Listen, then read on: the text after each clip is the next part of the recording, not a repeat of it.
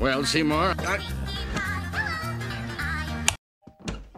Well, Seymour, I made it, despite your directions. Ah, Superintendent Chalmers, welcome.